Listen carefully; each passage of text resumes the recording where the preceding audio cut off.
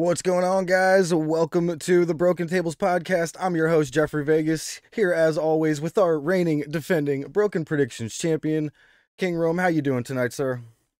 I'm doing good. How's uh how's Canada? Oh man, uh I mean, I'll say it was great because I had an absolute blast at Forbidden Door, uh, Dynamite, Ramp, Rampage, um, all that Ring of Honor, you know.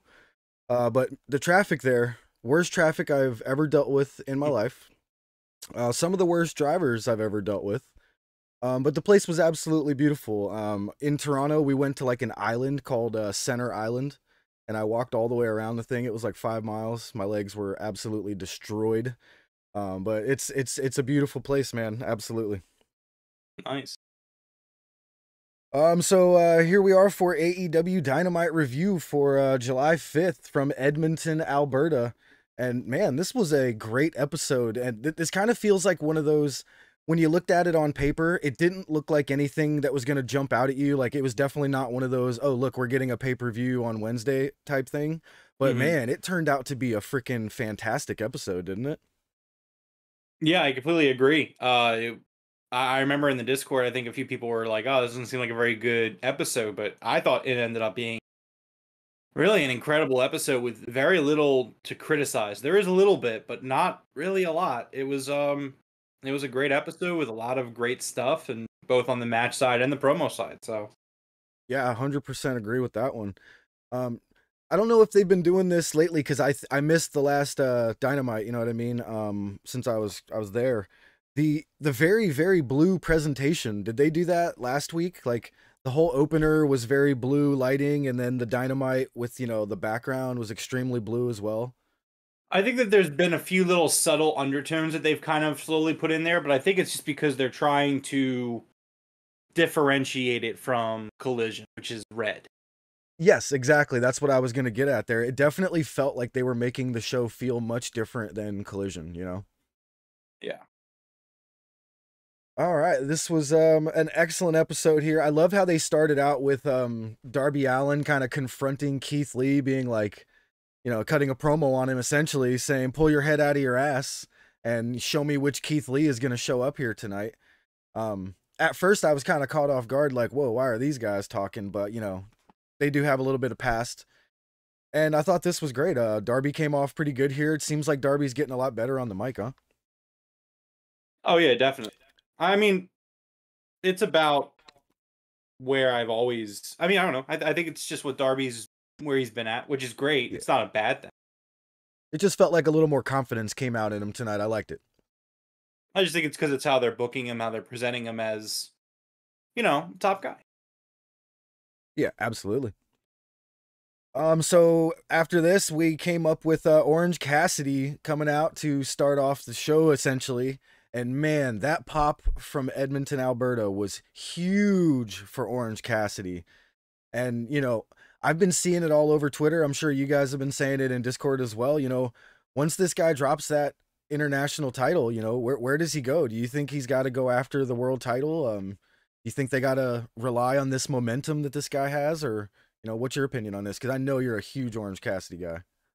I think that there are so, like outside of the pillars, I think that there is a group of people in AEW that were not established beforehand, you know, before their time in AEW, but now find themselves, I would say, extremely over and star caliber. Um, things that you know, people that come to mind: the acclaimed, the uh, Orange Cassidy, and and I feel like these are the guys that you need to make sure again outside of the pillars that they are mainstays on your product because the fans are responding positive. And I think Orange Cassidy has just done such an excellent job with the title. He's really made it extremely important. I mean, it, like there are weeks where it, it feels like the most important title on the show, which obviously you can criticize other parts of the product, but you know, that's just what it is. It's yeah. He's out here having all of these amazing defenses. And I think that when the time comes for him to drop it, I do think that he needs to go right into another feud, something really hot. You know, like when the acclaimed they dropped the the, the tag titles to the guns. they kind of just they're still over and they're still doing stuff. And yes, they were doing the trios thing, which led to the title match. So it's not that they're not doing anything, but you kind of want to see them be in more of a high profile role. And I really hope that Orange Cassidy can be booked in that way, where like yeah, like yeah. I don't know if it needs to be a world title match. I would give him a world title match against Max. I would definitely have him run probably the full gear cycle. I would have him be that guy. I, I think have this Adam Cole MJF thing go until all in or all out. Have um have Eddie Kingston at Grand Slam because it's in New York, and then after that you're kind of looking at full gear. Ooh. And you know, I would yeah, I would have Orange Cassidy go after Eddie Kingston. Um, oh, I think that's man, what I would Grand do. Slam, and, that'd be that'd be insane, dude. That crowd would go nuts. Yeah, and if you're not going to do that, then I do think that you absolutely need to have Orange Cassidy in some sort of high profile after this. Like, yeah, he needs to be doing something marquee caliber because there's only so many times that this guy can go out there, and I'm not even just talking about the international title. I'm talking about beforehand. There's only so many times this guy can go out there and just churn out excellent. I'll just say content because it it doesn't matter if it's like in a video package or if it's in the ring or wherever it is. He's always just kind of killing it. Um, what do you yes, think about? I would absolutely strap a rocket to his back and keep him as one of the top guys. He's consistently selling merch. He's consistently doing well in all these other metrics. That's that's my take on. So, what do you think about Orange Cassidy maybe running it back with uh, Adam Cole? Remember um, when you know they basically he basically threw Adam Cole off the uh, the the top. What was it? The top of the um, tunnel. So you know, I think so... He, I I I'd be okay with seeing that, but I definitely think that there are more there are different places they can go. I, I think AEW's at a point where you know, it's it's cool to do some, you know, to run some things back. Like I like I like the Owen that they're doing a lot of things like that where it's like Starks and and Hobbs next uh or on Saturday. I think that's really cool. But I, at the same yeah. time, like we don't need to run back everything. and yeah, and I also was going to point that out. Jeff is really pulling for this Adam Cole heel turn, which it, I don't think they're going to do that anytime it, soon. Um, well, we'll um, get we'll get to the match later, but it really felt like they're going with what I was saying. I don't think so at all. Um, but no, I I think um, yeah, you just just make it happen. You just do. Yeah. You just do it. Yeah. Uh, so yeah, we had Orange Cassidy and Darby Allin versus Keith uh, Lee and Swerve Strickland uh, with the Mogul Embassy out there, man. Um, that that's just a mean looking group. You know, it's that's a big that's a big big big bunch of dudes. I don't I don't know what else to say there. Hmm. uh so Keith Lee was getting massive uh Lee Lee Lee chance as well. Uh th- this was a great match, man. I actually had a lot of fun watching this match. Um Orange Cassidy hitting two orange punches on Keith Lee to try to finally knock him down. Uh, Darby Allin had to hit him with two of I guess he calls it a springboard coffin drop. Is that what it is when he just kind of springboards off the ring and smashes into him with his back? That's kind of yeah, I'd say so. They they don't really ever name it. They just kind of springboard whatever. Yeah. Uh, this match was awesome, man. I love Darby Allin. He's one of my favorite. You know, same thing with Orange Cassidy. You know, we we we could almost put Orange Cassidy as like a fifth pillar, man. I I freaking love this guy. So good. And again, I mean that's something that I think that AEW has done so well, and they're just so really great at. Like, if if you ask me, like, what is AEW best at? I really do think that it's making people feel like they matter and making stars on your roster. Um, yeah. because there are so many people that would make so many arguments about so many of their favorite wrestlers and why they would say that they're a pillar. You know what I mean? Like yes, like you could argue that Orange Cassidy is a fifth pillar. You could argue that the you know look at look at I don't know I'm scrambled today because dealing with stuff here. But like there's so many that you could just be like, oh yeah, that's the, that person's pillar. They've right. already said it. Like Britt Baker is like the unofficial fifth pillar. They've like you yeah. know what I mean. Like you could just go down the list. Ricky Starks has been there since the like the early pandemic days, which I just I consider that to be early AEW days. You know what I mean? Like there's just so many people. Hold up, Orange Cassidy's 39. Yeah, he's old. We've we've touched on this in in the pod before. That's crazy though. It just my it won't stick in my head because of how young he looks, man. That's crazy. He's older than me. What? All right, that's depressing, but no. Moving on. Uh, um, this was an awesome match again. Um, Swerve Strickland winds up kicking Keith Lee in the head during the match. It actually looked intentional from my point of view. There, I thought it definitely looked intentional instead of an accident. Uh, Orange Cassidy hits a huge DDT on the outside to Keith Lee to keep him out of the ring.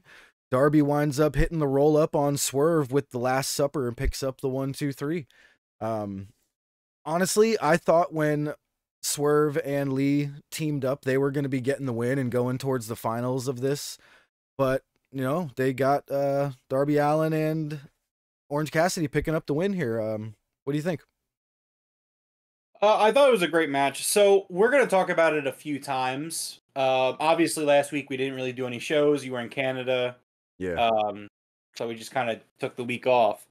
But I- I've been so mixed on this blind eliminator tournament because, like, ugh, like the matchups have been like so inconsistently good and inconsistently bad. Where it's like, obviously, you want to do the whole Adam Cole MJF thing. I get that. Obviously, it's pro wrestling. This isn't actually random. This is the Yeah. Booker, Tony Khan making these tag teams. And I'm okay with obviously the suspension of disbelief that like, oh my god, wow, MJF and Adam Cole were picked. But you mean to tell me that also randomly Swerve and Our Glory was formed? Also randomly, Orange Cassidy and Darby Allin, two guys that have been working together quite frequently, were formed as a random team in this random lottery. And then they're like late well again, we'll talk about it later on with like Sammy Guevara and, and um and Daniel Garcia. yeah. But, like, man, this match was so great, and I love tournaments. I know Ed's like, oh, there's like three tournaments going on, and I'll admit that it, that's that's a lot. But I personally don't mind it as long as they're good. And I thought this match was phenomenal. But I was just kind of sitting there shaking my head, like, oh, really? These were two random teams that were drawn out of uh out of the the tumbler thing, the bingo tumbler. Like, Yeah, okay. and you know, all at the beginning when they did the drawing of the Matt Hardy and Jeff Jarrett, you know, like I we kind of gave them praise. You know, we'll get to that in a minute, obviously, but we gave them praise, like, hey, cool, they did it. They drew it live on TV. But now all of a sudden later on, they just kind of throw it out there that you know Garcia and Sammy were together. It's just, uh, you know, have a little bit of consistency. I guess is what I was uh, looking for there with these, you know, drawings from, you know, from the the yeah, but I mean that being said, it. this match The was drum. awesome. It was a really fun real, opener. absolutely. Um, there was a lot of really cool spots that I just really loved, whether it be the Darby Allin stuck under the stairs and Keith Lee walks up Oh, stairs. dude, yes. That was insane. Um, I-, I loved Keith Lee in this match. I actually thought this was probably one of my favorite Keith Lee matches in his AW run. Um, just because of how he was kind of working with everyone. Like his interactions with Darby were really cool. The way he comes out there and he just fucking chucks Darby to start the match. The way he's Dude. doing, you know, That- his interactions with Cassidy. How Cassidy's like trying to do the mind game. He's like, wait, wait, wait, wait, wait, don't chop me yet. All right, now you could chop me. And Oh, then just dude, like, that- oh Jesus! And then again, even the stuff with Swerve, where it's like, I don't know if they're gonna do if this leads to Swerve uh, versus Keith again, which is weird because I kind of didn't get the vibes that that's that that's where we're going with it either. So it's kind of weird. But I mean, the match itself, I mean, uh, it was awesome. It was fantastic, absolutely. Uh, next up, we had a video package from Darby. Uh, basically, you know, a little bit about Buddy Wayne and how he started out his career, you know, going to Buddy Wayne's School of Wrestling. Uh, and then it transitioned to introducing Nick Wayne. Uh, we had a little package for Buddy Wayne's son, Nick Wayne. And if you have never seen it, please, please, please go watch it. It is on YouTube. It is Nick Wayne versus Swerve Strickland um, from a few years ago when this kid was 15 years old. And it's an incredible match. And they later, you know, I- just, I got to say it now, it just kind of goes with it. They later announced we are getting Nick Wayne versus Swerve Strickland for his first match. Uh, Rome, did you catch which day this was? Is this on Dynamite? It was on Dynamite, yeah. Oh my god, man. I can't wait for next week. This kid is amazing. He's now 18 years old. His contract with AEW, I believe, is uh, I guess in effect now. I guess that would be the the right way to say it. Mm. Um, and man, I can't wait for this match. It was great when he was 15. I can't imagine how it is now when he's gotten even better. Yep. All right. Uh, next up, we had uh, Jungle Jack Perry uh, showing up backstage in his uh, SUV. Um, he lets you know he lets them know that he's going to demand an FTW title match from Tony Khan, but Hook comes out of nowhere and annihilates him. Uh, and we get another one of those Jungle Boy diving into the uh, SUV spots, and that looks hilarious now that they've done it twice. I absolutely love that spot. Oh, completely. Yep, the Coog threw that out there into uh, the chat DeFi wrestling video. Absolutely. You know what? Let's go to chat real quick and welcome everybody here. We haven't even said anything to chat since we've been back here. I'm sorry, guys. What's up, Coach? What's up, Coog? Purpleness is here. Uh, we also got the day trading Doge and Ed, of course. Thank you very much for everybody being here. Um, you know, th- th- this uh this this episode was amazing. I love this spot here with uh, Jungle Jack diving into the SUV again. Um, do you think they're gonna keep doing this where he just keeps running from Hook for a while and then finally they're gonna do something where he can't run anymore or what? Um, I mean, yeah, uh, this this was really good too. I really love this. Um, some people I saw some people on Twitter. I don't want to say that I coined this, but uh, some people are referring to him as Hollywood Jack Perry. And when Jack came out of that SUV, Ooh, I like it. yeah, when Jack came out of the SUV wearing what he was wearing, I was like, damn, that really would stick with the Hollywood. Uh, with I Hollywood. Jack really like Perry. it. I think that Yeah, might have been another one of his work. dad's And- shirts. And then Jack is even like, um, I'm not some thug from New York like Hook. He's like, I'm gonna march to Tony Khan's office right now and demand an FTW championship match. Before he could do that, Hook attacks Jack. Jack dives back into his SUV and the SUV peels away. Um, Yeah. just great. Just I'm so happy with the so far. I'm so happy so far with what they're doing with Jack and Yeah. And I understand some people were like caught off guard by the sudden change with Jack, but like, you know, that's how things happen in, in wrestling back in the day. There's always a sudden heel change, you know what I'm saying? I, I it doesn't bother me as much as as others, I guess. Um but I thought he nailed it tonight actually. Um I thought he seriously um nailed his little promo he did about marching to Tony Khan's office. Uh, it actually felt believable, and then him getting attacked and him running away was just great. I love it. It's great heel work right now. I think I like it a lot.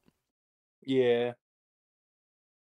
All right. Next up, we had uh, yeah, we had MJF and Adam Cole uh, with a video package of them working out, doing a basically a workout workout session. Um, MJF asks him to spot him on the bench press. MJF spotting what? Let me see if I can do the math. That was one, two, three, three plates on each side. You know what? Let me let Coach do the uh, addition for us. Coach, what was the weights on that that Adam Cole and uh, MJF were pushing? It was three forty fives on each side, and obviously forty five for the bar. Do, do the math for me real quick, Coach. Um, this this was great. So MJF goes to do his, and Adam Cole doesn't spot him at all. He just like gets on his phone and starts texting and stuff. Uh, but MJF just does the reps, no problem. Smashes them on there. 315. Whew. That was monster. Uh, and you know, MJF offers to spot for Adam Cole, and Adam Cole puts up the same the same exact weight and smashes it. And MJF is just like in awe. He's like, "What the?" F-? And they cut away from it. I said it's so funny because I said the same thing. I thought that Adam Cole took a couple plates off because when they were showing the view of Adam Cole, you could only see one plate at a time on the thing. And when he when he put it back on the rack, you could see he was doing all three plates as well. And MJF was just like, "What the?" f-" And I said it a- along with him. I was like, "Holy!" f-" It was great. Uh, yeah, coach said the same here. I love how the camera angle doesn't show Adam's weights. Yeah, I popped too, man. I was like, holy shit. You know, everybody tries to say Adam Cole doesn't have the body, but he just right there showed he had the strength. Like that was that was badass. Yeah, no, I I thought this was a really uh a really awesome video package. Again, they're just doing this this MJF Adam Cole thing, man, is such a home run. And we're gonna talk about it in a little bit when when they do the match. But like, man, it's just so good. It's so damn good. Yep. All right, next up we had the acclaimed and Daddy Ass versus the Blade and um, the Bollywood Boys, which I did not expect. Um, I'm not sure if it was announced ahead of time, you know, but I just got back into the states. I didn't have Twitter while I was driving and all that stuff. Uh, it was Um, announced like 20 minutes before the show went on. Okay, so yeah, yeah, I, I- I didn't see that there. Um, but this was good. I actually enjoyed this. You know, the Bollywood boys were okay back in the day. Um, you know, they're they're decent. I guess I don't really want to call them jobbers, but th- that probably is a decent, you know, probably a decent word for them. Um, and the Blade is always uh, very good in the ring. So uh, this was a great match. Um, loved, you know, Billy Gunn is always fantastic in the ring. I love how he works the crowd. But man, Billy Gunn just makes everybody look so small when he's in there. He's such a big guy, you know what I mean? Like his chest is just massive, his back is massive. He's I think he's either 6'2 or 6'3. Um the dude's a monster compared to especially the Bollywood boys. He looked like the big show in there. Yeah, I think I'm stealing that from Ed. I'm not trying to steal it, Ed. I'll give you the credit, but um so we had a great awesome hot tag to uh Bowens. Bowens runs wild, bunch of super kicks, you know, beats everyone's ass. Everybody loves the acclaimed. Um Daddy Ass comes into with one of the Bollywood boys, and I don't even know what to call this slam, but he had him in like a full Nelson, picked him up as high as you could possibly put him, and absolutely just power slammed him through the earth. Uh, and then we got the mic drop for the one, two, three. Um, this was a fantastic match, and uh, the acclaimed and Daddy Ass pick up the win.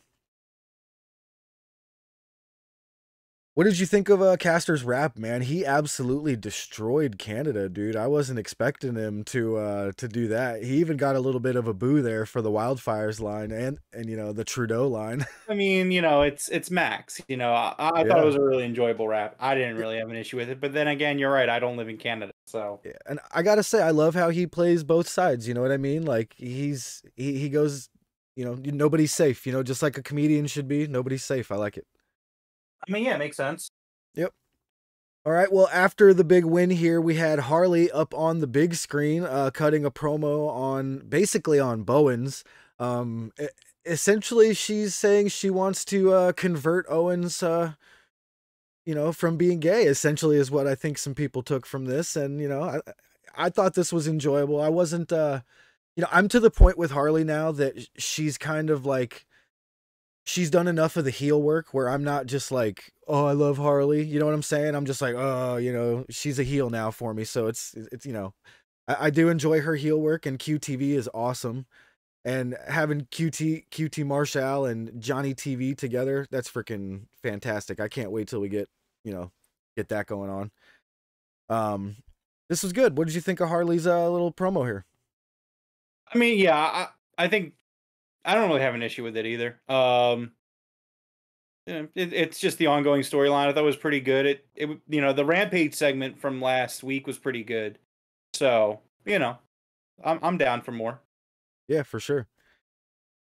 Uh, well, Harley informs them that she made a music video uh, to follow up on her rap from last week. So we're going to be getting a music video from Harley sometime. Did, did you catch if she said when? She just kind of mentioned she made it. She didn't really say when she was dropping it, right? I think she said next week. Next week? Okay. Thing. Well, uh, uh, we'll, we'll brace for that one uh, when it comes. Um, it's going to be funny. It's got to be hilarious. If not, it's going to be cringe as fuck. All right, next up, we had a package for Eddie Kingston going over to New Japan and winning the New Japan Pro Wrestling Strong Open Weight Championship. And I did not know that this was a thing, man. And I was like absolutely ecstatic when I saw this. Uh, Eddie finally, you know, realizing his dream and winning a championship, man. This was this was awesome. I freaking loved this little video package they had. Yeah, you know, I thought it was really cool for them to do this. So yeah, he won that title this morning um at their Independence Day night 2 event. Um and yeah, really awesome moment for him and kudos to AEW for kind of celebrating that the same way they did with Willow, which is really good. It, it's you know, they're your talent. You should be sharing more when they do things like that. So, Yeah, absolutely, absolutely. Um, so immediately after was a video package um, from Moxley cutting a promo on Eddie, saying, you know, he wasn't really congratulating him on uh, winning that championship, but he was, you know, referencing Eddie's career and referencing him winning it. And he said, Eddie, answer your phone. You know what I mean? So uh, looks like Mox is trying to, uh, you know, mend that fence, I guess, like uh, Renee was yelling at both of them the other day. Um, but we'll, we'll see. We'll see what comes of that. And you know, while we're on the subject of Mox here, man, what do you think of that that video slash photo going around of the the barbecue skewers getting stuck into the top of his head? Which, for anybody wondering, like a lot of people are like, "What is that? Chopsticks?" Or you know, those were barbecue skewers, like you would you know buy at the store to put some shrimp on or something. Um, what what did you think of this? Or, uh, did you have a problem with this? Because Mox has been doing this since the beginning of his career. People just didn't really like, know. So like, I'm not a death Uh, I mean, Me I, neither, I do enjoy like extreme wrestling and stuff like that, and like the whole no holds barred stuff. Yeah, but I'm not like a death match guy. Like, you're not gonna catch me watching like CZW or anything like that. Is do, like, do I want to see Jon Moxley like that? Not really, but at the end of the day, it's you know, like, I don't know. I don't want to tell the guy not to do things his way because at the end of the day, like Agreed. you want them to do things their way. Like that was the thing, right? That's like so terrible about WWE is that like you go to WWE and you do things the WWE way, right? So it's like I don't want to sit here and just say like, oh well, Mox should not be doing. Sting should not be diving off a table, and like obviously that's two different things because Sting's sixty nine years old. But my my point I think is still kind of valid in the sense that like obviously I want them to be taken care of and I don't want anything to happen to them and you know they do need to take care of themselves but no I like long long answer can have a problem with it even though it's not Yeah, I, I kind of feel the same way, but like at the same time, when I first saw it, I was like, man, you got a daughter, you know what I mean? Like that was the first thing that popped into my head. And I was like, one day she's going to be like 12, 13, and one of her friends is going to be like, do you see this picture of your dad? What the hell? like, you know, I don't know. It was it just, you know, but I agree. I am definitely not a uh, deathmatch type of guy. And, you know, it didn't bother me as much as it did some, but I, I would rather he not be doing that stuff when he's one of our top guys here, you know? I get it But- no I, I totally get it and Yeah. I, I again I just think the problem is I think there's just so many people who are going to go and sit there and criticize it just because he's you know an AEW guy and I, I think that that's kind of in bad Yeah, I got you. All right, next up we had um them pulling the uh names out of the drum. It was Renee Paquette and RJ City and we had Matt Hardy and Jeff Jarrett pulled uh to be the next tag team together. And Matt Hardy did not seem pleased. He thought it was going to be his brother Jeff Hardy, uh but it was Jeff Jarrett and Matt Hardy said the nuts of slap. yeah Uh, and- l- let- and again, like this is what I'm talking about when I say like this was a great pairing for this tournament. This was really fun. It's something different. You know, it was like it's like the the Daddy Magic Butcher pairing where I was like, that's a really cool pairing. It's like half of Yes. the half of the pairings in this tournament are so cool, and then the other half are just like, oh wow, yeah, you just literally sat in a room and like you you booked this tournament, you handpicked this tournament. Like you know what I mean? Like there needs to be some sort of suspension of disbelief, and I'm just I'm not feeling. Yeah, yeah, I see what you're saying. Um, but I completely agree. This was exactly what I was looking for in this tournament is these oddball pairings. I love how they just said Jeff first and he was like, "Oh, Jeff Hardy, my brother." And he was like, "No, Jeff Jarrett." You know, and it was like, "Oh, you know." They did that very well, you know. It's ah, for some reason they didn't continue on with that later on, you know, just some consistency, man. It would have been And they almost nailed it. You know what I mean? It's like they almost nailed it yeah, and then they kind of again, kind of. So coach just said it. I was going to bring it up as well, but coach in the chat just said it that like oh man, so much for not seeing Double J again in AEW. Which again, I didn't think that they were going to do that as his last match, but Yeah. Okay, well then they probably shouldn't have let Jeff say that in the video package leading up to the Aubrey match, which just makes me dislike that Aubrey match even more because it's like, okay, man, we're we are just wasted. Like we just got nothing of value out of that little uh that little feud, did we? Um, Yeah. But yeah. All right. Well, next up, we had Wheeler Yuta cutting a nice promo on Kenny Omega, you know, explaining how Kenny's all beat and bruised and battered and he's beaten him before. So I thought this was a great promo by Wheeler Yuta here. Yeah. Uh, what about, yeah, right? I mean, it was, it was fantastic. It was just, it is what it is. You know, he's going to have a match with him later in the night and fantastic promo from uh, Yuta. The, the, the Philadelphian, as you put it. Yeah. Right. How did you put that? Uh, well, so Ed asked his nationality, and I said he's Philadelphia. Yeah, yeah, that's what it was. Yeah, yeah. All right, next up we had the Wizard, the Ocho, Chris Jericho on the mic, uh, in the ring, cutting a very nice, uh, pretty much babyface promo here, um, saying that you know Jericho needs a change. He's been having some bad luck lately with a string of loses, Mhm. uh, and he says maybe it's time to change into the best version ever of uh, Chris Jericho. Um, what do you think that means? Is he is he targeting a specific uh, version of himself, or you think he's reinventing? I don't know. I, I think it's kind of I, they're about to move on with Jericho and do something different with him, and I think he was kind of teasing it in a way that he was going to turn babyface, but he's also kind of probably feeling nostalgic based off where he is. Um, Oh So, yeah, absolutely. you know, but uh, it's kind of leading into the Don thing with Don coming in, so it's understandable. But uh, you also kind of want to get the crowd against Don. So with the with him with Jericho teasing that he's going to turn babyface, the crowd really likes that. So of course, when Don comes out and steps on that, that's going to be, you know what I mean? Don Callis with the nuclear heat again when he comes out to uh, interrupt Jericho here.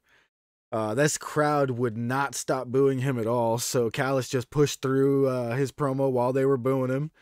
Um, he essentially asks Jericho to join the Don Callis family. And I think that's the first time that they kind of referenced it like a new faction, and like that's going to be the name, the Don Callis family.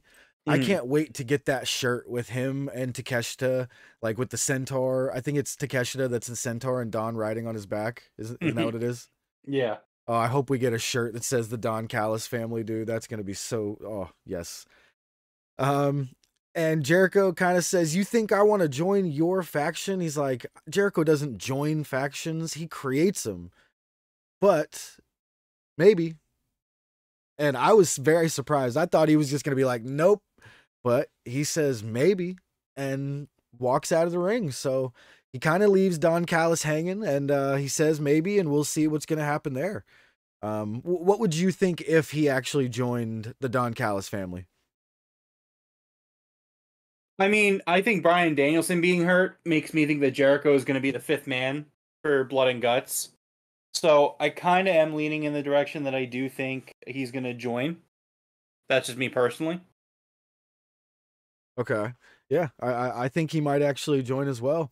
Um, especially with what happens a little bit later in the night with uh, Sammy and um, Garcia confronting Jericho. You know, we'll get to that in a little bit. Um, But yeah, I think he might join as well. Uh, next up, we had a CM Punk and uh, Samoa Joe promo package that, oh man, just you know, every time we see CM Punk, you know, we we absolutely love it. Um, and I think this was the first time I've heard anybody ever call CM Punk punker. So when Joe got to his part of the video package, he, you know he he called CM Punk punker. I like that a lot. Um, I might have to use that. Dude, Um, I, can't, believe we're getting Punk versus Joe for free right one. away. Yeah, Like, yeah, it's insane. yeah. Punk's just gonna he- he wants to go 100 miles an hour here, man. I, I love it, man. Just absolutely amazing. Can't wait for that. Uh, next up, we had a quick Starks versus Hobbs preview for the uh, the next round of that tournament. Um, next up, we had Roderick Strong in a neck brace backstage with Renee Paquette and Doc Sampson. Um, they were essentially giving an update on Roderick Strong's neck, which he was in a neck brace, but he was kind of saying he was fine. Adam Cole shows up saying, you know, you got to make sure you're fine, kind of referencing what happened with him and his concussion, you know, take the time, make sure you're good before you come back. Um, and that led right into the MJF and Adam Cole, uh, you know, versus uh, Daddy Magic and the Butcher. And dude, this match was so freaking fun. I had so much fun watching this MJF and Adam Cole match. And dude, MJF is playing a babyface at the moment. You know, it still seems like he he's a heel, but he's pretending to be a babyface. I think I even saw him high fiving the kids in the audience on his way down the ramp. You know, oh, and, completely. And he does the he does the boom thing with Adam Cole, like so he gets down below him when he does the boom and does it with him. They get in the ring and MJF also does the Adam Cole Bay Bay thing, but he does it from his knees the same way he does it for himself. This entrance was absolutely fucking fantastic, dude. This is one of my favorite entrances in wrestling. The way that they were like simultaneously doing the Bay Bay stuff, and uh, it was great. Um, so this was also followed by a freaking awesome match. With the focus of this match was MJF trying to get Adam Cole to do heel things.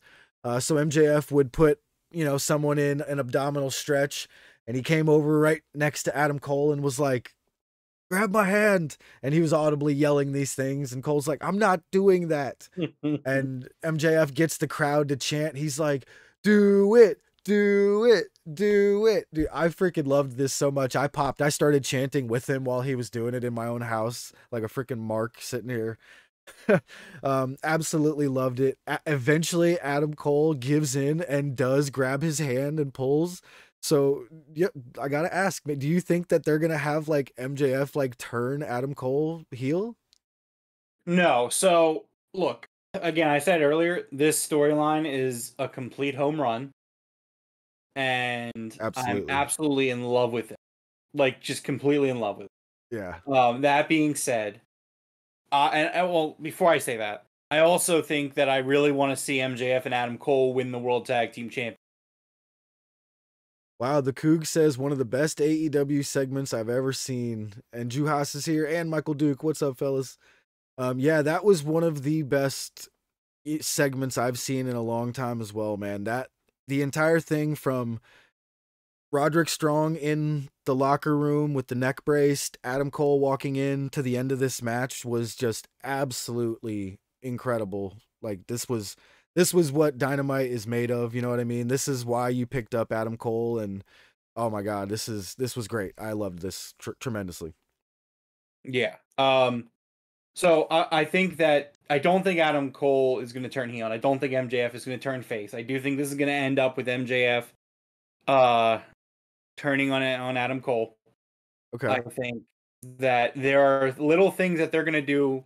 I really like the storyline because it's kind of like Adam Cole is very trepidatious. He's like, "You're MJF, and I know who you are, and I know what you do," and and MJF is gonna keep trying to do these things where like, okay, so MJF wants Adam Cole to wear this shirt.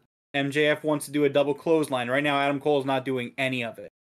I guarantee you, as the tournament goes on, he's going to wear the shirt and he's going to do the yeah. double clothesline. He's gonna do these things, and it's gonna be great. Um, yeah, so as soon as MJF tagged Adam Cole in, we didn't get MJF back in. Adam Cole finished him off with the uh, the boom and picked up the win. And I saw people saying MJF looked pissed. I didn't think he looked pissed. I thought he looked proud. Like you know, he he he's he weakened him enough to where Adam Cole could finish him off, right? Yeah, that's what he. Want. MJF yeah, does not want to wrestle. No, MJF yeah, MJF. That's a great point. I didn't even think of that part. Yeah, MJF doesn't want to wrestle. That was exact. Yeah, he he exactly. He, he, that's what he wanted. MJF is happy because everything is going exactly the way he wants it to. Adam Cole is is uh is buying in. Adam Cole doesn't mind wrestling. Adam Cole doesn't mind picking up the win. Like you know, everything's going MJF's way. Nice, nice. Michael Duke says uh, it's official, becoming a certified athlete athlete softball coach. Nice, man. Congratulations. That's cool to hear.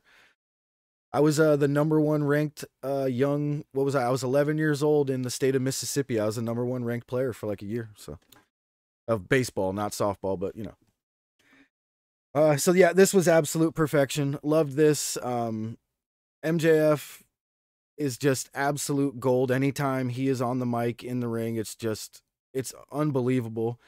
So uh, MJF demands uh, two microphones, gets him and Adam Cole on the mic and MJF says happy birthday to Adam Cole. and has a huge celebration for him. Massive streamers get blasted through the air. Uh, has a bunch of guys come out with cakes and uh, hats and stuff like that.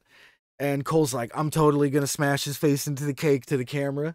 But Adam Cole turns it around on him and smashes MJF's face into the cake. Um, this was fantastic, man. And, you know, MJF agrees. I'm sorry, Adam Cole agrees to another uh, bro day out, you know, maybe working out or doing something else. I'm not sure what they'll do in the next one, but it should be fantastic, man. Absolutely love what's going on between these two. All right, next up we had Britt Baker, Dr. Britt Baker, I'm sorry, uh, DMD, uh, with Renee Paquette cutting a, a, great promo on Ruby Soho here. Um, you know, Britt Baker just looks like a star, man. Like I love that jacket she wears. Just everything about Britt Baker's presentation and everything is just 100%. She's one of our, you know, she's definitely one of those like we said, the, one of the fifth pillars or whatever you want to call it. She's the face of that women's division. Absolutely love Britt. This was a great promo. Yeah, it was really good. Uh, next up is when we had Jericho uh, with Sammy Guevara and um, Daniel Garcia. They were asking Jericho, "What's going on? Why would you say maybe to Don Callis's family thing? Uh, you know, they're like, we need you." And Jericho basically was like, "No, you don't need me." He's like, "You guys don't need to be under my wing forever." And I 100% agree with what Jericho is saying. I think we've all been waiting for the turn from Sammy and Garcia. You know what I mean? Uh, do you think we're actually going to see a turn from maybe both of them at the same time? Because it looks like they're turning into a tag team again. You know, they announced them that they were two random picks that, again, like you said earlier, these random picks didn't feel random at all. You know, there was like three teams that just, it didn't feel random, you know, but whatever with that. You know, it's it is what it is. And do you think they're gonna turn on Jericho and maybe uh, take him out one day? I don't know, but I mean, I will say this: that for like, if this is them kind of wrapping the JAS up and just kind of getting rid of it without really any closure for Sammy or for Garcia, I'm not really super down for it, admittedly. Um, let me throw this at you. The first feud for the Don Callis family uh, that's outside the elite part right here. What do you say that um, you know, Jericho starts to get beat down by Garcia and uh, Sammy, and the family comes out to assist Jericho, and then the rest of the JAS comes out to help Garcia and Sammy, and we get like a little quick feud of the family versus um, the rest of the JAS that's left. Um, I don't know. I mean, yeah, I guess that could work. It it, it just it honestly it re, it reeks of Bryan Danielson has a, broke his arm. Yeah. And we need someone to kind of slot in in that fifth slot, and we don't want to do. Yeah. We don't know who else we're gonna do. Yeah, because I, I, can't. I can't give it a down because it you know it feels like it's Danielson got pulled out. You know what I mean? No, but yeah, it, it, still not, feels. I'm not. You know, it was still nice.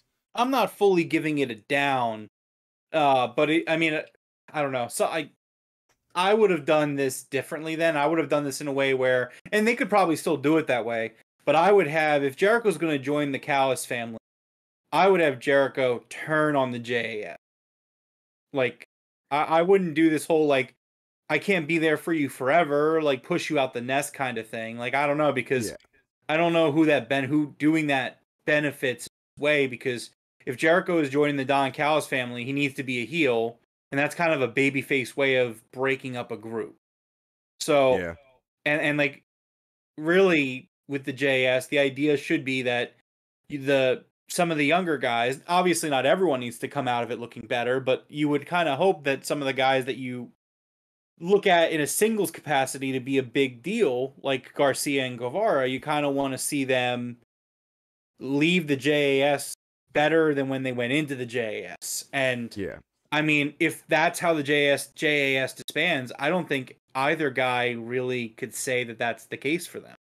Um, well, I would agree with Sammy. I think Sammy was, you know, in a better place when he was the TNT champion back in the day. But I, I think Garcia's at a really good spot right now. He gets a lot of cheers when he's doing those dances, and you know the crowd gets into it. I think he might be, you know, if anything, I think he's still where he was. You know, I don't think he's gotten hurt at all. You know. Mm-hmm.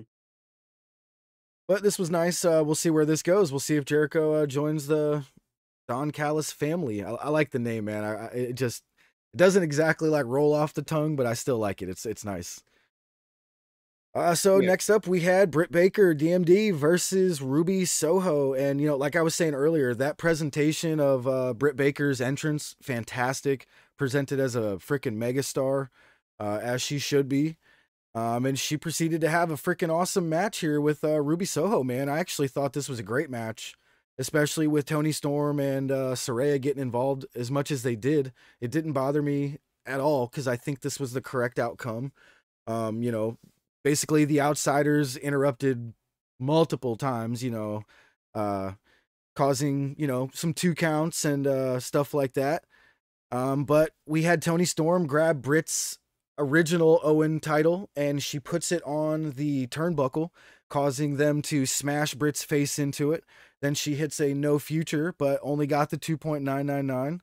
Uh, Ruby does get a roll up pin on Britt where Saraya and Toni Storm both give the assist by uh, grabbing onto her hand and pulling and they all get the win. Um, that's the one, two, three right there with you know a great match, man. It was a great back and forth. Even the picture in picture was decent for this one. Um, you know, I had I had no problems with the match whatsoever, and I think this was uh, the right outcome. So I, I actually do have a problem with the match. Um, Okay. let me let me back up. So I think that this was Ruby and Brits out of their. I think this is their third or fourth match together. I think I like this one the best. I think this one was it was a really good match in and of itself. Yeah. That being said, um, why are we still at this point where? And I know Jayme's hurt. I get it, but Yeah. why? What happened to the AEW original? Like, where are they? That the outcasts are still just able to completely run roughshod and just do whatever the hell they want. Like, why wasn't Shida there? Why did Yep. Skye Blue not come out until the end of the match because she's facing Ruby in the next round of the tournament?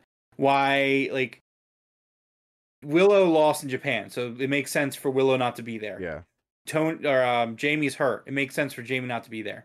But you like you mean to tell me that none of these babyface AEW women are gonna back up Britt Baker? Like this is um this is geek babyface syndrome that the Yeah. women's roster has just been dealing with, They are For, in like, the Canada too. longest you know, time. so- and it's like again like I that bothers. Yeah, I, I agree. You know, there's a lot of excuses we could throw out there. You know, like they were in Canada. You know, a lot of injuries right now. Kind of pause the story. Um, but I do agree with you. Um, somebody needs to. They need to form that group. We've formed the Outcasts a long time ago. Like, where's the originals? We need that. yeah group, exactly like, the problem is with with this feud is is that and again i think this comes down to tony khan one of his biggest downfalls is he's notorious for being stubborn with his booking in a sense that like if he has a plan he's gonna put everything on hold Yeah, if somebody's hurt or somebody's unavailable like the julia hart turn that took forever all because rey fenix pro- like broke his arm.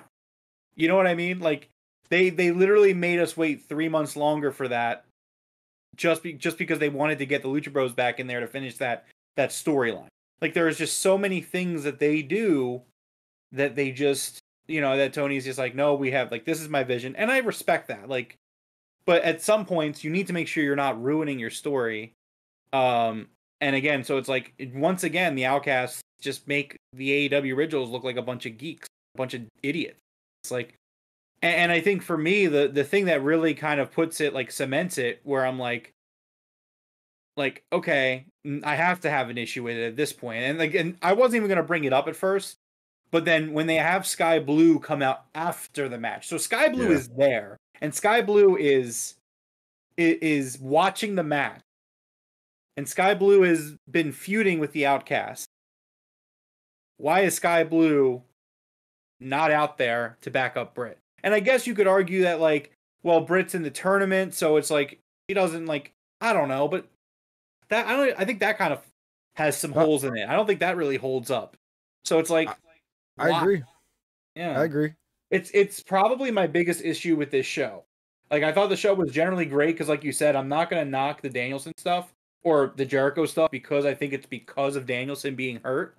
But like this is the one thing on the show where I'm just like, this this is just not checking out for.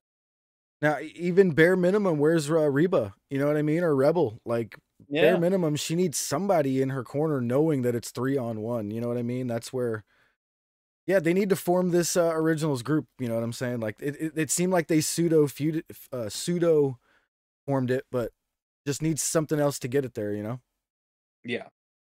One of us, one of us. All right, so uh, yeah, Ruby gets the win there. Skye Blue con- comes out to confront her. Uh, they just kind of have a face to face at the top of the ramp, nothing special. Um, Skye Blue looks amazing. Uh, now, did you see Kyle Fletcher's response to Jungle Boy's promo from last week, where he said, "I'm, you know, banging the hottest bitch in this place"? He Mhm. was like, "I disagree." Kyle? Fletcher, because Oh, he's now with uh, Skye Blue. yeah, right. Yeah, he was like, I disagree. that was great, dude. I loved it. All right, next up, we had Wheeler Yuta versus Kenny Omega. And, you know, I came back a second too late. I saw I was in the middle of uh, Wheeler Yuta's entrance. Was there something before Yuta coming out? Did I miss anything? No. No? Okay. So, yep, we had Wheeler Yuta's entrance first, and then Kenny Omega getting a absolutely massive pop in Alberta, Canada here. Um, Kenny is so beloved in Canada. It's not even funny. Absolutely love it. Um, and this is, I believe, where they announced, you know, Nick Wayne versus Swerve Strickland will be happening next week. Um, just as the match was about to start, they announced this. I kind of wrote it down on the side, like, oh my God, I can't wait for this. I'm so happy they're doing this right away. Um, and the story of this match, man, I absolutely loved it because so many people had a problem with that Tiger Driver 91 that uh Will Ospreay hit on Kenny, dropping him on his head. Oh, go ahead. Oh, you don't know. Finish your thought because I'm just gonna rebuttal. Like, So- It was just great to see Kenny selling his neck the entire Mhm. match. I absolutely loved that. I loved it. Okay, so the the Tiger Driver 91 folk, right? The the, Yeah. the people that are super upset about them running this move. Uh, again, I'm always going to point out bad faith uh in the wrestling community, especially obviously the IWC. Those same people. It's really funny, Jeff, because that energy was definitely not matched, especially at Money in the Bank on Saturday with that table spot with Ricochet and uh and what was it, Logan Paul. Uh Yeah. I, I just think that it's just everyone making a big fuss about the Tiger Driver and all that, like that again, that's just bad faith. That's just people just Yeah. going out there. Shut up, Ed. It's the truth. People it, people are trying to make it seem like oh they're super worried about his safety and his and his well-being when it, that's not what it's about. That's not at all what it's about. It's about the fact that he is an AEW guy and people are going to make it seem like AEW is such and such. And that in my opinion is bad faith. Yeah. But I, I absolutely loved this. Uh, Kenny went to go do his uh, You Can't Escape, and, you know, he couldn't finish the front flip, you know, springboard front flip off the ground, uh, off the mat there. He kind of fell sideways and he slammed the mat because he was upset he couldn't do it. Uh, this was great. And Kenny just kept selling the neck from that point on. Yuta was hitting suplex after suplex. It was almost like a suplex city going on out there. Uh, but eventually, Kenny makes a beautiful comeback, hitting two Snapdragons. Uh, Yuta countered the third one, but he eats a V trigger. Um, Yuta tries out that seatbelt, but he couldn't quite grab on to the ankle of uh, Kenny. Um, Yuta gets hit with another V trigger for 2.999 count. And this is where Don Callis showed up and about 20 security guards trying to hold him back. So while the referee was distracted with Don Callis being held back by security, uh, Takeshita showed up. And Takeshita hit the least devastating move of all time onto Kenny Omega, the Blue Thunder Bomb, which has never defeated anyone ever. Um, and it also caused Wheeler Yuta to hit a huge frog splash off the top rope. But Kenny does kick out of this one at 2.9999. And Kenny Omega winds up picking up Wheeler Yuta for a massive one winged angel. He picks him up from the top rope after kind of punching him through his legs. It looked really cool the way he did it. It was almost like a Shoryuken, like uppercut, but he hit Wheeler like through his legs and then into his face. It was great. So, real quick, I don't want to take away from the match, but Ed says I don't use the term bad faith correctly. And I looked it up. And so the definition I'm reading tells me that both Ed and myself are both correct. It says bad faith is a sustained form of deception which consists of entertaining or pretending to entertain one set of feelings while acting as if influenced by another. So, while Ed, yes, you are correct that it is a form of deception, which I don't disagree with, that second part of the definition is what I'm talking about, where it's like you're acting in a in a sense that like like we'll use the Tiger Driver for an example. You have these people who are just like wrestlers need to be safe and take care of themselves. Like I can't believe that they would do this over in that company, and they're not doing they're not saying that because they actually care about Kenny Omega's health and well being. They're saying that because they hate AEW for existing and are going to make arguments that they don't even necessarily believe or care in. Yeah. And that's what I mean. And that's why, according to this definition, we are both correct, Ed. So we will take this. We'll both uh, pick up a win on this. I'll get. I'll give it to you. All right, so Kenny does pick him up off the top rope after that Shoryuken through the groin and uh, picks up the one winged angel for the win. One, two, three. Uh, but immediately Claudio Castagnoli attacks with Takeshita. Um, and the elite come out with the hangman and uh, the bucks come out with chairs uh, they destroy everybody with the chairs and we get a huge bte trigger onto claudio. And just as we're going off the air we got the hangman with a chair and we got the bucks holding claudio. And claudio's about to just get absolutely annihilated. And as hangman's about to take the swing the dark order show up and Evil Uno rips the chair out of Hangman's hands, and we go off air. So I have not seen anything uh, of what happened afterwards. Have you found anything that happened afterwards yet? Um, I can look. Hold on. Yeah, no, no worries. But it was great. I, I'm actually enjoying the Dark Order back into this feud a little bit. They are being a little more serious, like I was asking a few months ago. Um, you know, they need to have a little bit of a heel turn type thing, and you know, they just need to be a little serious. And I'll be all I'll be all in back on the Dark Order. Love it. Love me some Evil Uno. Oh, I gotta put my mask back up. It's still in my brief, still in my uh, suitcase. Uh, but yeah, this was a absolutely fantastic match and a great way to go off the air. You know, this this storyline with the elite is just one of the best parts of AEW. It always has been, you know. Yeah, I mean, absolutely. All right, so I absolutely loved the ending to this. I loved the entire episode. There was a couple of little things to nitpick here and there, but you know, like I said earlier, you know, on paper this didn't look like it was going to be the greatest episode ever, but it turned out to be freaking fantastic episode of Dynamite. I cannot wait for Nick Wayne versus Swerve. So speaking of next week, uh, you want to go ahead and give us the rundown of what we got for uh, Rampage and possibly anything announced for Dynamite? Yeah. Uh, all right. So everything that was announced. I mean, first of all, they talked about uh, Blood and Guts. They've named four. Each team has four members already named. Uh, the BCC is Yuta, Claudio, Mox, and Takeshita with a fifth mystery uh, partner. The Elite is the Bucks, Kenny, and Hangman with a fifth mystery partner, and that's taking place on July 19th. Coming up on Saturday on Collision. Um, See, they were all over the place. I got everything that was announced, but bear with me. Yeah, uh, so good. Collision this Saturday, uh, AEW World Tag Team Championship. Ed, uh, Ed, I just looked down the chat. Sorry, FTR and Juice uh, versus Juice Robinson and Jay White. Uh, Owen semifinal. Athena versus Willow. Owen uh, semifinal. Ricky Starks versus Powerhouse Hobbs. Another semifinal for the men. CM Punk versus Samoa Joe. Uh, coming up on Friday on Rampage, it is episode 100 of Rampage. Uh, the Blind Eliminator Tag Tournament will be Matt Hardy and Jeff Jarrett versus Sammy and Garcia, which again, very disappointed in that second pairing. this next match really interesting and cool uh, because it's another blind eliminator.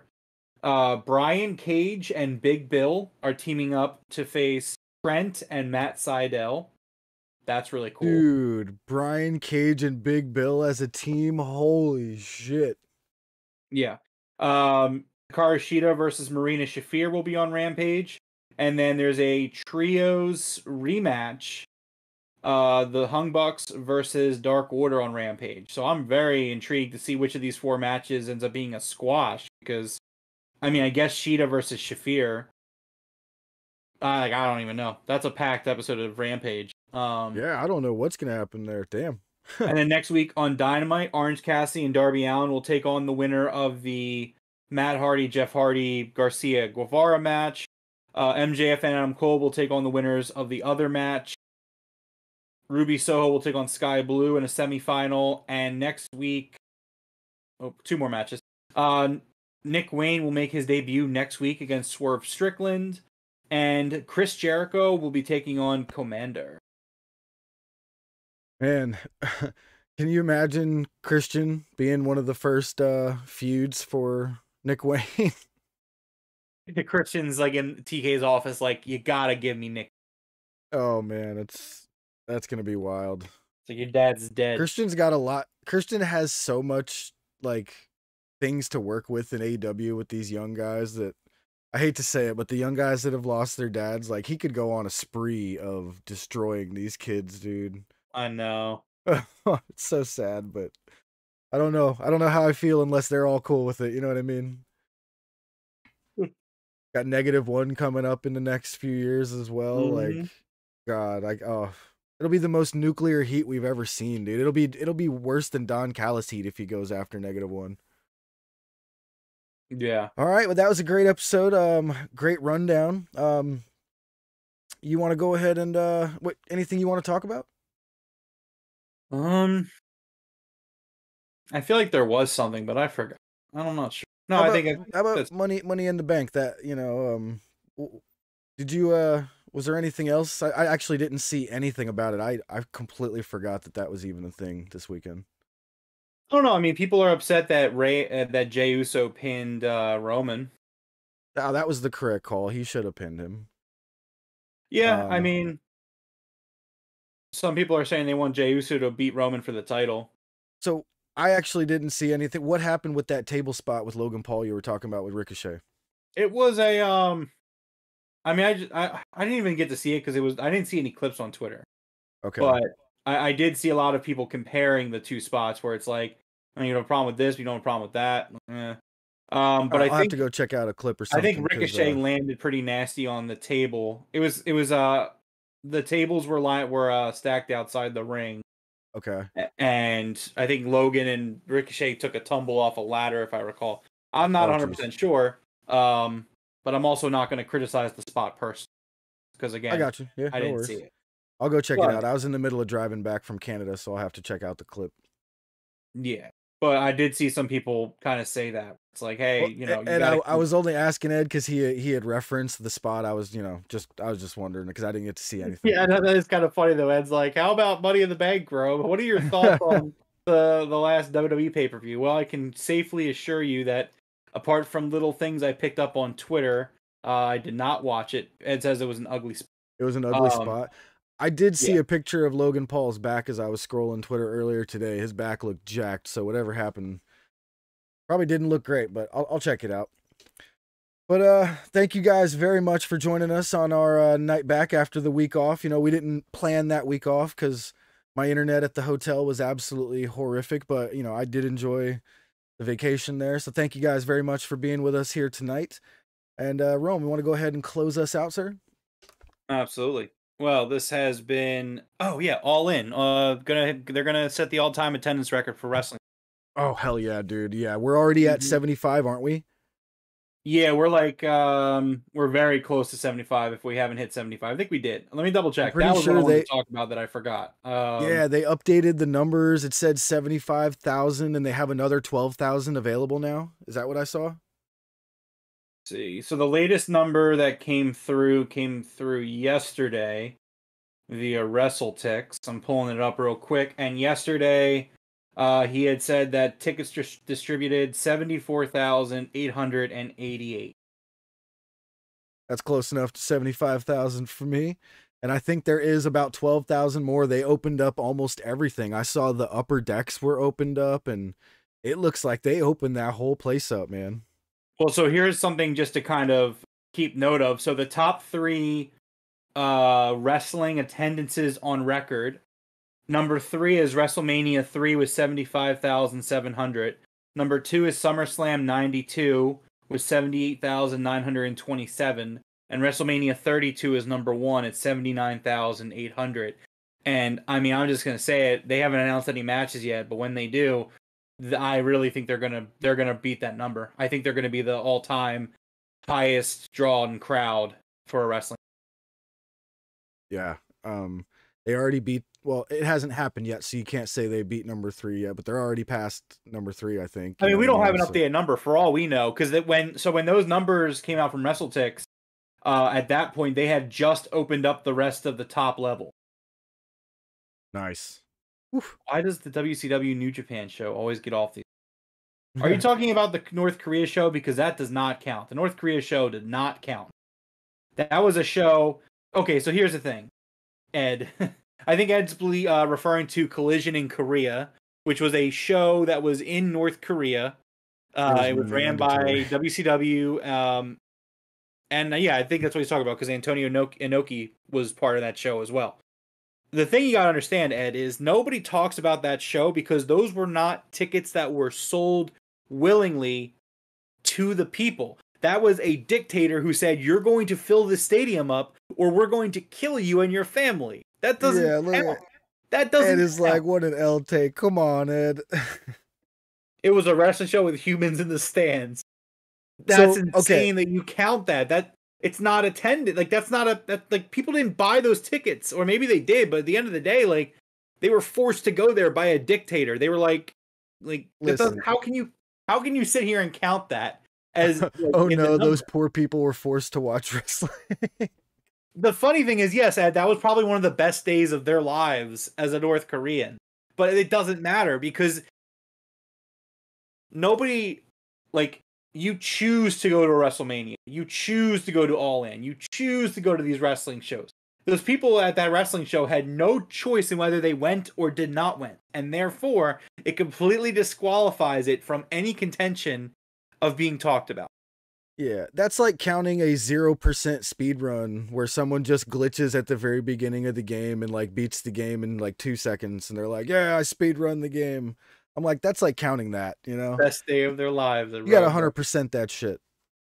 Yeah, this is why I would like for us to do a watch along series of like uh, Dark Side of the Ring because you haven't watched any of them, and the episode on no. Collision in Korea is so good. It's so so good. I'd be down um, with that. But yeah, it, it's it's a great show, and it's a really interesting episode. It's a really interesting event in the history of pro wrestling. But however, Ed, like I said, it doesn't count it's a, that's a terrible analogy, Jeff. It, it might have been. It, it, made sense in my head before. Yeah, I, it, before it, came look, out of my. It's not like Jeff. Stop helping me. Um, I'm. I can. I, am fine. I'm, fine. Um, give those give oppressed people, people, their, moment. their moment. No. How about this? No. yeah. All right. Well, let's wrap this one up here. Um, thank you guys again for joining us. Go ahead and uh, close us out there, Rome. Absolutely. Well, this has been episode 155 of the Broken Tables podcast. Uh, if you liked this, please like and subscribe.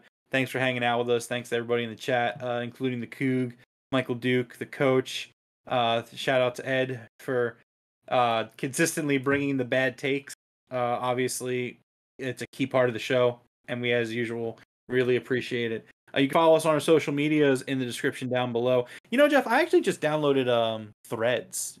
I don't know if you're gonna if you're gonna fuck around with that, but I downloaded What's Threads. So Threads is um, Meta's Twitter, and a lot of people are signing up.